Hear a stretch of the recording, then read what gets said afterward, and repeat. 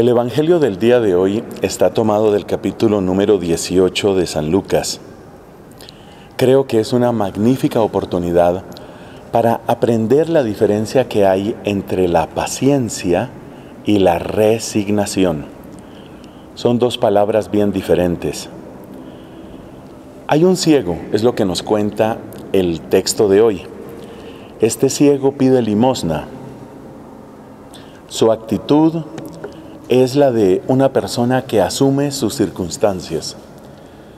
La realidad de él es que está privado de la vista, la realidad de él es que tiene necesidades, él no cae en la desesperación, sino que desde esa conciencia de su propia realidad se adapta y hace lo mejor que puede.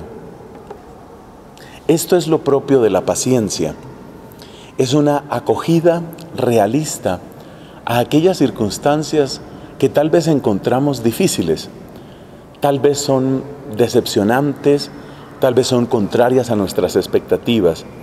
Acoger con realismo, aceptar con realismo aquello que nos sucede y sostenernos en medio de la dificultad haciendo lo mejor posible. Todas estas son cualidades propias de la persona paciente.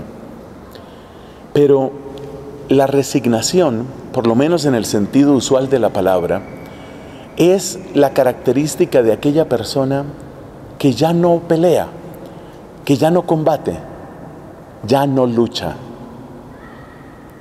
A veces uno puede adaptarse tanto a las circunstancias que su misma adaptación es una derrota soy perfectamente consciente de que es una línea muy fina la que va entre la paciencia y la resignación, entendiendo aquí resignación como una especie de derrota. Te voy a dar un caso.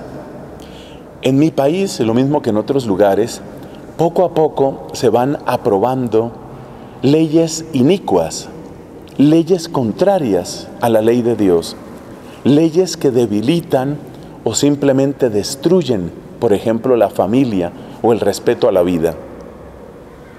En esas condiciones, uno se hace esta pregunta, bueno, ¿qué hay que hacer ahí? Como esas leyes están aprobadas y como nosotros no podemos cambiarlas, se impone una actitud de paciencia. Digamos, esa es la realidad en la que estamos. Pero es muy distinto la paciencia del que sabe que esa es la ley que está vigente a el sentimiento de derrota del que dice, bueno, ya que se aprobó, por ejemplo, el aborto, pues ya no hay nada que hacer, sino simplemente cuando mi hija vaya a abortar, pues que aborte, cuando mi hermana vaya a abortar, que aborte, o cuando mi mamá vaya a abortar, que aborte. ¿Te das cuenta? Una cosa es darse uno darse uno cuenta de lo que está viviendo y darse cuenta de que no podemos cambiar las cosas instantáneamente y otra cosa es resignarse en el sentido de darse por vencido. A mí me admira cómo muchas personas con verdadero espíritu de combate espiritual, con verdadero espíritu de victoria en Cristo, no se resignan no se resignan. De manera que sí, se ha aprobado el aborto, pero esa ley quién la hizo? La hicieron seres humanos.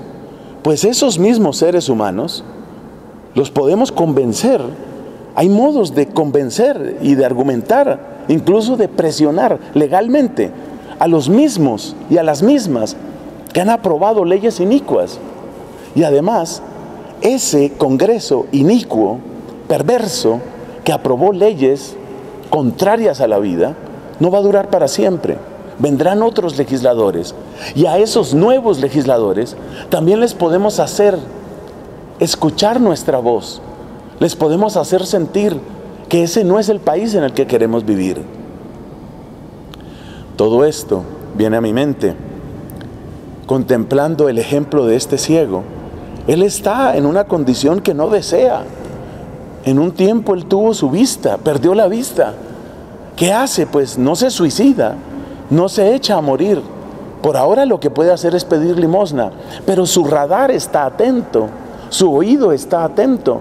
Y en cuanto ve la oportunidad, Jesús está pasando, en cuanto ve la oportunidad dice, esto puede ser de otra manera.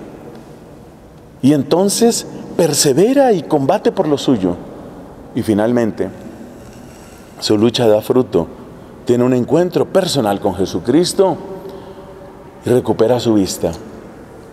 Recordemos, pacientes, pacientes sí, capaces de soportar la hora mala, sí, pero resignados, derrotados, jamás.